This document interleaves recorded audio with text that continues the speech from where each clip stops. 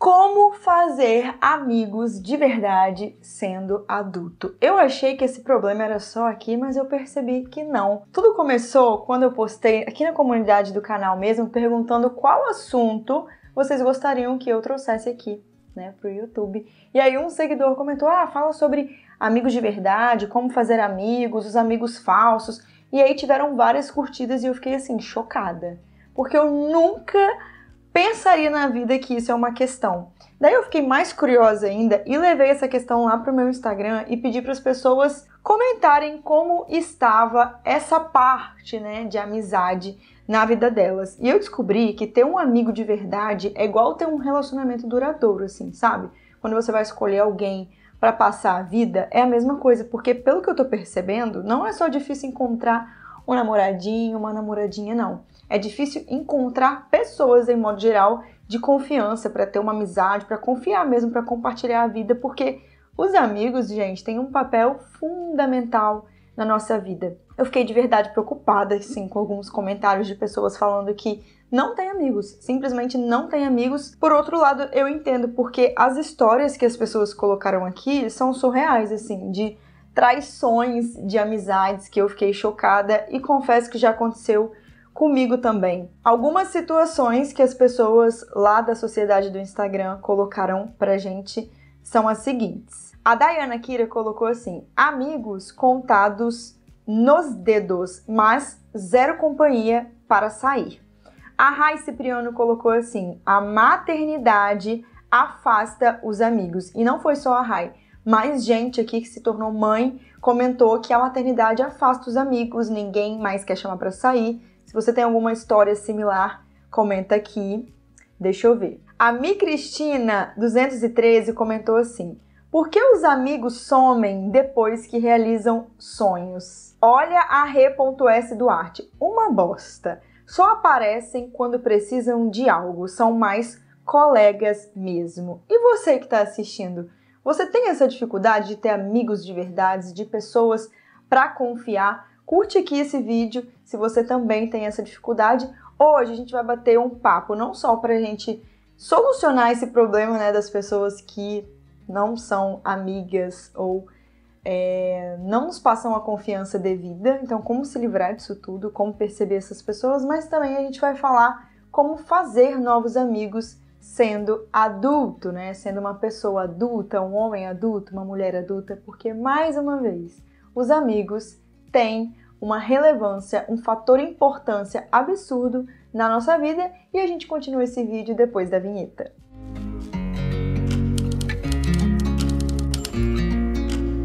Se você é novo ou nova por aqui, seja muitíssimo bem-vindo ao meu canal. Eu sou Letícia Secato. Aqui você vai encontrar muita informação. Esse canal é para homem, é para mulher, é para todo mundo que seja adulto, obviamente. A gente fala sobre tudo de relacionamento, meu ponto de vista do amor. Então eu te convido a se inscrever para fazer parte da nossa sociedade. Você que está assistindo, não deixe de apertar o likezinho para me ajudar, para valorizar o meu trabalho do lado de cá, né? Comenta também para eu te conhecer melhor. Comenta quanto tempo você está aqui, se você me acompanha só aqui ou se você me acompanha nas outras redes, né? No Instagram, no TikTok, enfim, eu tô por todos os lugares espalhando informação. Então, curte muito esse vídeo, vamos fazer esse vídeo chegar em um monte de gente que precisa da gente também, né? Nós temos uma meta de bater um milhão de inscritos, gente, sério. Todos os dias eu sonho com esse momento, então eu espero que vocês sejam meus amigos e me ajudem a elevar esse vídeo, elevar esse canal e por aí vai. Vamos continuar nosso bate-papo porque hoje a gente tem muita coisa para conversar. E ah, ativa as notificações, mas o que? Só ativa as notificações, isso é importante, que aí sempre que tiver um vídeo novo, você vai ser o primeiro a ser notificado, vai chegar aqui primeiro, a gente vai conseguir conversar pelos comentários, vai ser super legal. Eu separei cinco passos simples para você conseguir se conectar com pessoas, para você poder fazer amigos de verdade, sendo um adulto ou uma adulta, tá? Que eu acho que é muito importante a gente entender como esse rolê funciona. Quando a gente é mais jovem, criança, adolescente, a gente é rodeado de pessoas, tá? E tudo isso tem uma explicação. Além da gente ter mais tempo para se dedicar e se conectar, a gente uh, tem mais convivência, né? quando a gente fala de convivência, a gente vem de um cenário onde a gente convive muito pouco pessoalmente. Mas mesmo antes da pandemia, Quando a gente é adulto, a gente já não tem mais tantas convivências, a gente já não tem mais tantos grupos e nem a necessidade de ter tantos grupos. Quando a gente é mais jovem, a gente tem o trabalho de escola, a viagem da escola, os cursinhos da vida e por aí vai. Isso faz com que a gente tenha muito mais contato, conexão, tendendo a ter mais amigos, tá? Uma coisa que a gente com certeza sabe, né, quando a gente vira adulto é que quantidade não é qualidade, longe disso. Às vezes é melhor você ter os poucos e os bons do que ter muitos amigos que não vão somar em muitas coisas. Mas eu tenho um ponto de atenção para você que está me assistindo e é adulto, é que é importante também a gente ter as pessoas que são nossas pessoas que a gente vai contar para tudo, mas ter aquele amigo também para sair, para tomar uma cerveja, para falar sobre nada, sabe? Também é legal. Então não precisa ser todo mundo assim, aquela pessoa que você vai uou, confiar para sempre. Você pode ter convivências na vida, né? Pessoas que você vai ter uma conexão para pontos diferentes da vida. Eu gosto muito de trazer o conceito de mastermind, que é quando você tem um grupo, né, de mente mestra ali, e cada grupo tem suas, a cada pessoinha tem o seu ponto importante na vida. Então eu tenho um grupo onde eu sei que cada pessoa tem uma função. Se eu precisar de um conselho amoroso, eu vou para aquela pessoa. Se eu precisar de encarreiramento, eu vou para aquela pessoa. E se eu precisar apenas distrair a cabeça, eu vou para aquela outra e por aí vai. É sempre legal você ter grupos e fazer parte de grupos, tá? Eu sou uma pessoa que preza uh, de que nós precisamos de amigos e que esses amigos não sejam pessoas da nossa família e nem o nosso ciclo romântico, né? Nosso namorado, nossa namorada, esposo, é, esposa, enfim. Eu acho que a gente precisa se conectar, a gente precisa ouvir outras pessoas, compartilhar com outras pessoas. Isso engrandece demais o nosso dia a dia e a gente não sobrecarrega pessoas que já estão ali sempre com a gente, né? Que é o parceiro, o familiar e tudo mais. A primeira coisa que eu trouxe para vocês aqui foram cinco passos. Eu vou começar do quinto e vou chegar no primeiro porque o primeiro para mim é o mais importante. E no decorrer desse vídeo eu vou postando algumas coisas que as pessoas falaram lá na sociedade, tá bom? Ó, o número 5 é seja sincero ou sincera, né? Autêntico ou autêntica e cauteloso. Sinceridade, autenticidade e cautela são três coisas que, assim, essas três coisas são a base de qualquer relacionamento. Relacionamento de amizade, relacionamento romântico. Vamos supor que você vai conhecer alguém em algum momento, seja no seu trabalho ou um amigo de um amigo, qualquer pessoa. Em hipótese alguma, deixe de ser sincero ou sincera, né? A pessoa que tem força de opinião, que fala o que ela realmente pensa, atrai muito outras pessoas e se conecta com pessoas que de fato precisam se conectar. Tem gente que fica pisando em ovos quando tá conhecendo alguém. Né? E aí também vem a autenticidade. Quando você é você, independente do lugar, você também vai atrair muito mais pessoas, né? Você não precisa forçar a barra para absolutamente nada. E aí vem a cautela, né? Você precisa ser cauteloso com quem vai entrar na sua vida. Diferente de quando a gente é adolescente não tem nada a perder, vai ter, sei lá, uma caneta. Uma caneta que vai ser roubada. Quando a gente é adulto é diferente. Você trazer a pessoa para o seu lar é você trazer ela para sua família, para sua rotina, para os seus relacionamentos. Então você tem que ter cautela e prezar por pessoas que realmente vão fazer sentido na sua vida. Aí a Camila MK postou lá no Instagram uma coisa bem legal. Ela colocou assim: Com o passar do tempo, passei a ser altamente seletiva. Me disponho a conhecer pessoas novas, porém com muita cautela. É isso. Você não precisa se fechar para o mundo e ter medo, né? Eu vi muita gente falando que tem muito medo de confiar em pessoas. Ó, a Camis Fonte, por exemplo, colocou assim: sou muito desconfiada para fazer amigos. Na verdade, eu falo que tenho apenas colegas. Amiga mesmo, eu tenho minha mãe apenas. Então, isso também é um extremo, assim, né? Tem que entender por que, que você não confia em pessoas. Eu não acho que a gente tem que ser 100% extremo, mas é a gente saber confiar com cautela, não se entregar de vez, como se fosse um relacionamento mesmo. Por exemplo, ó, a Metzer.emanuele falou assim: Eu sempre demonstro muito que sou amiga para toda hora, mas não recebo o mesmo. Ou seja, se você não está recebendo o mesmo, não demonstre o mesmo, sabe? Tenha esse senso de reciprocidade com os seus amigos, assim como você tem que ter nos seus relacionamentos, porque são relacionamentos, sabe? É uma troca, tudo é uma troca. Então tenha sinceridade, autenticidade e cautela sempre que você for conhecer alguém, qualquer pessoa. Isso vai te aproximar de pessoas que são como você, verdadeiras, cautelosas, seletivas. Então, anota essa dica aí. E aí vem o número 4, que é muito importante e a gente vai se perdendo quando a gente fica adulto, que é fazer parte de grupos de coisas que você ama. Quando a gente é adulto, a gente para de fazer parte de grupos. Por exemplo, ah, você ama é, o pessoal vou dar um exemplo muito bom que isso funciona das tribos, né? O CrossFit, por exemplo, é só um exemplo, tá? Não que você tenha que entrar. Mas as pessoas que gostam de exercício, né, que gostam do CrossFit e entram nesse grupo de CrossFit, cara, elas participam de uma tribo com muitas outras pessoas e que já tem algo em comum. Então isso fica muito mais fácil de você conhecer alguém que vai ter algo em comum com você.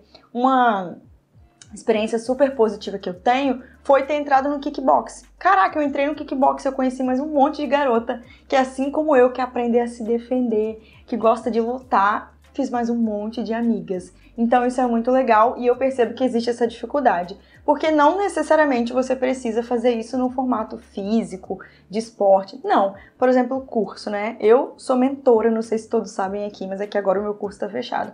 No meu curso, sei lá, tem 500 amigos ou 500 alunos.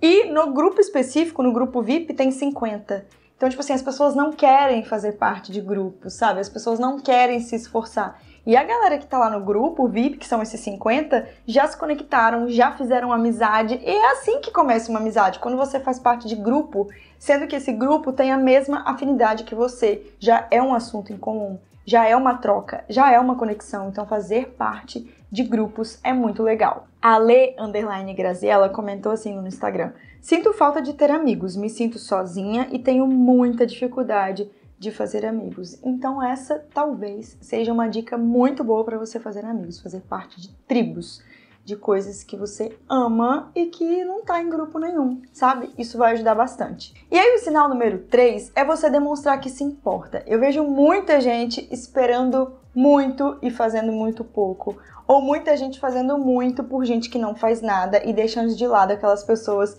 que realmente importam. Sabe aquele amigo que você tinha e que você perdeu o contato assim? aquele amigo de infância, aquela pessoa importante para você que você perdeu o contato. Primeira coisa que a gente coloca na cabeça é se fazer de vítima, né? Tipo assim, ah, eu perdi o contato porque ele nunca mais me mandou nada, então manda você. Por que não hoje mandar um WhatsAppzinho perguntando se tá tudo bem, marcar para tomar um café, sabe? Trazer essa conexão de volta. Não tem porquê ficar esperando pelo outro quando você pode se importar primeiro. E tem muita gente que é assim, né? Quer ser amigo só nos melhores momentos da vida. Ah, eu vou ser amigo quando tiver uma festa, ser amigo quando tiver um evento, um open house, mas na hora de se importar mesmo com a pessoa, não tá nem aí.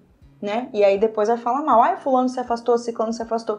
Inclusive que fique de alerta aí para você.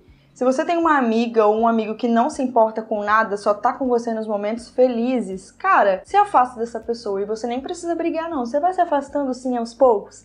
Sabe? Sabe aquele amigo que não consegue ficar feliz na sua felicidade e não se importa com nada da sua vida? Essa pessoa você descarta e tenta resgatar aquelas que realmente são de verdade ou conhecer gente nova. Eu vi muita gente aqui comentando sobre falsidade, sobre pessoas que a partir do momento que elas passaram por uma dificuldade ou tiveram algum sucesso na vida, se afastaram, é surreal. A Jane de Boa colocou assim: Lê, já tive muitas amigas, mas hoje em dia tô só ir Deus.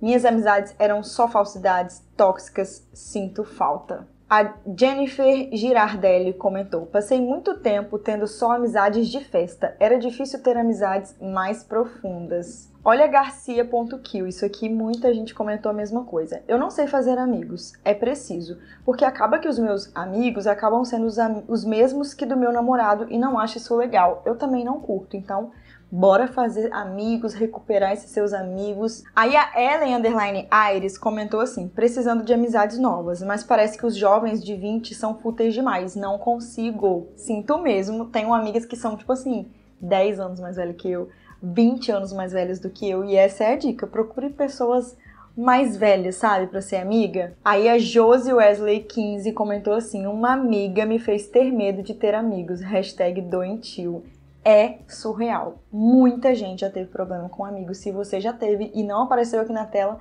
comenta aqui contando sua história. Mas faz isso, demonstra sua importância com quem realmente é importante, porque também não é, né, ficar sentada esperando que todo mundo se importe com você.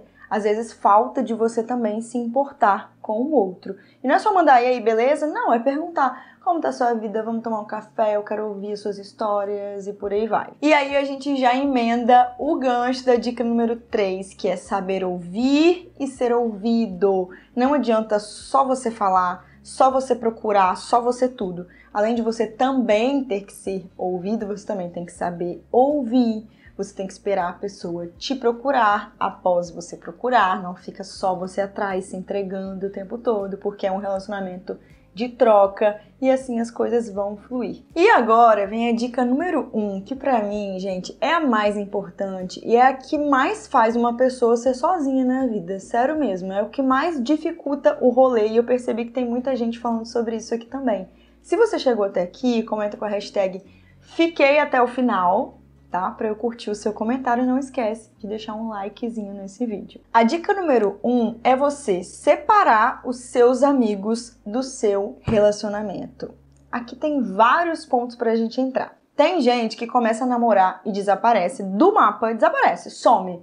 Só vai aparecer quando o relacionamento der errado. Mas tem gente que não some, porém, tudo que vai fazer tem que ter o parceiro ou a parceira junto. E aí você não cria mais aquela intimidade com seu amigo com sua amiga, sabe? Porque o namorado tem que estar junto o tempo todo, o marido tem que estar junto o tempo todo, ou a namorada tem que estar junto o tempo todo, vira uma doideira só, você não consegue separar as coisas. E aí acaba que o seu amigo, que é seu amigo mesmo, começa né, a sentir falta dessa intimidade e vai se afastar, e você vai acabar virando amigo dos amigos do seu parceiro ou da sua parceira, o que é bad vibes total, tipo, não dá. Você tem que colocar o valor realmente do seu amigo na sua vida, igual você valoriza o seu parceiro ou sua parceira. Por que não tirar um tempo para suas amigas, para seus amigos, uma viagem só com seus amigos, suas amigas, um restaurante, um café, que seja, você precisa mais valor também, sabe? Da mesma forma que você valoriza o seu parceiro ou a sua parceira, os seus amigos. Gente, vou falar uma coisa para vocês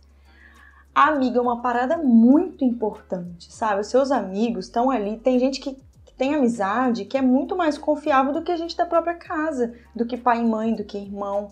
Amigo que é pra vida mesmo, sabe? Que é pra vida, mas isso requer doação, isso requer dedicação, tempo, fidelidade, sinceridade, ou seja, é uma coisa muito valiosa, mas que faz todo sentido na vida de uma pessoa ter um amigo do lado para ver as coisas com outro ângulo, para te dar um super conselho, é a melhor coisa que você faz. Mas é óbvio que não é fácil, né? Se fosse fácil, não teria tanta importância. Então escolha muito bem os seus amigos e cuide muito bem dos seus amigos também. E não deixa uma, duas, três pessoas que te fizeram mal traumatizar pelo resto da vida, né? Não é sobre essa pessoa que te fez mal, é sobre todo o resto. Então se esforça Saia para lugares com pessoas diferentes. Conheça os amigos dos seus amigos também. Crie vínculos.